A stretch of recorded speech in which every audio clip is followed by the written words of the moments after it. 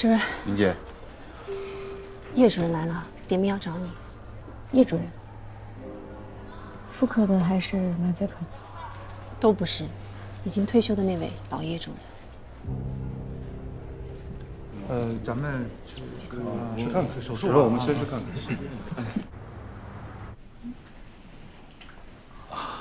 孔主任，啊，叶主任，哎，呃，老主任，那要不咱们先去把住院手续办了？哦，嗯那你跟我来。哎，空志，您先请。嗯，走。啊，嗯，这是我的体检结果，好的。麻烦你看一下。我有帕金森，做过脑深部电刺激术，手抖的没有以前那么厉害了，但是走路呢还是不太行。既往体健，嗯，就是十几年以前呢，因为感冒，拖延成了心内膜炎，二尖瓣换过一次生物瓣，最近有点胸闷和气短。您这个 CT 的检查报告，我看您患的生物瓣已经钙化了，而且已经导致关闭不全，现在已经影响到主动脉瓣，主动脉瓣也关闭不全了。所以您来心外是为了这个？是啊。嗯。那您觉得需要手术吗？嗯，我认为还需要进一步的检查，但的确是需要手术的，因为您的情况比较特殊，您有帕金森，之前又开过胸，您的手术方案需要非常的谨慎。您之前的瓣是谁给您换的？啊，咱们心脏中心的老主任。那您这次来是想让我给您手术？没错。我听说，唐主任你手术技术高超以外，我还有点好奇。您好奇什么？啊，我就是好奇，究竟是什么人这么有魅力的，把我的儿子迷得可以辞职跑到上海。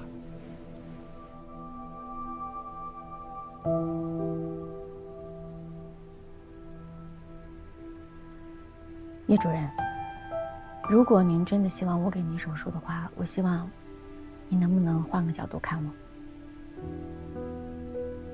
可以，我换个什么角度呢？患者看医生的角度。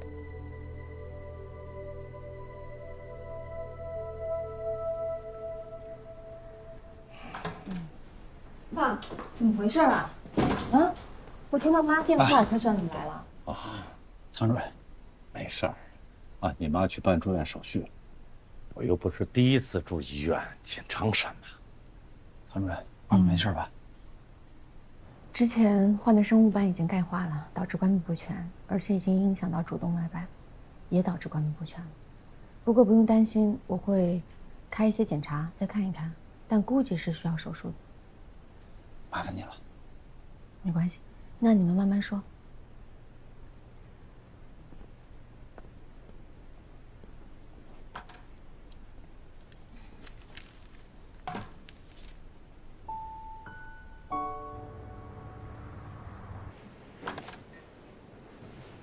孔主任、叶主任，检查报告我都看过了。嗯，如果选择开胸呢，确实是太危险了，主要是。术后的恢复太困难了，因为您的身体没有办法下地走路锻炼，长期卧床会导致您患有坠积性肺炎。这些我都想到了。嗯，那唐主任，你有什么具体的想法吗？我倒是建议您可以做 TAVI，是一种介入的半中瓣，在您心尖上开一个非常小的口子，用介入的方法把二尖瓣跟主动脉瓣放进去，这样不需要开胸。而且术后恢复的快，也不会加重您之前开刀造成的粘连。那已经钙化了的生物瓣呢？不用取出来，所以才叫半中瓣。这是这几年刚有的一种新的技术，做过之后的病人术后反应都非常好。嗯，不着急，你们可以好好想一想，再做决定。不用考虑了，就按照你说的方案来吧。我这个人呢，相信数据。是什么数据？我看了唐医生来安和近一年来的手术治愈率非常高，除非去找人外的朱伟宁或者顾英雄，不然你就是我最好的选择。那二位还有其他的问题吗？没有的话，我就呃，这个有关于叶一鸣要去上海的事情，你怎么看？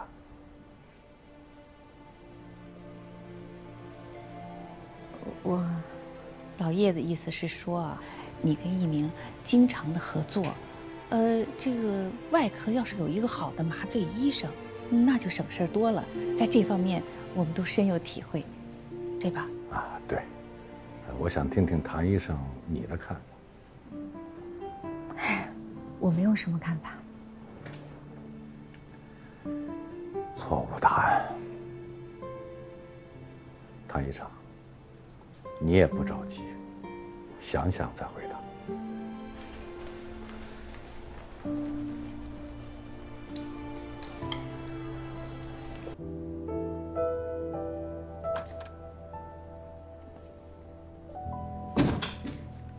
叶主任，这么晚了怎么还不休息啊？我看一下这个办中办的资料，毕竟明天要动手术了。要做这个手术的人是我，您是病人，需要好好休息。哎，小唐啊，嗯，之前我说话有些地方不太礼貌，你别往心里去啊。其实，我想求你办一件事。叶主任，您别这么说，有什么话您就直说。一鸣，他喜欢你，你也喜欢他，对吗？我跟他妈呢，都想求你劝劝他留下来。毕竟，一鸣是在安和长大的，这儿才是他的家。我们该说的都说了，恐怕现在唯一能够劝他留下来的人，是你。你看，能不能帮我们这个忙？叶主任，这个忙我帮不了。为什么？你不喜欢他吗？我喜欢他，但是我更了解他。就好像一年前我选择回国，来到安和医院。当然，除了当时感情跟家庭的原因之外，更重要的一点是因为刘峰承诺我，让我做心脏中心的主任。这对我的诱惑力真的非常大。从前我只是一个外科医生，做很多事情都有局限性。但是，做了心脏中心主任那一天开始，就不一样了。我可以用我自己的想法，完全打造一个自己想要的科室的样子，还有一个大型的心脏中心。我相信，这个动力和这个诱惑力，只有我自己知道。现在叶一鸣面对的，跟我是一样的情况。我希望他能够做他自己喜欢的事情，也希望他能去任何他想去的地方，不受任何的牵绊、阻碍。所以真的很抱歉，这个忙我帮不了你。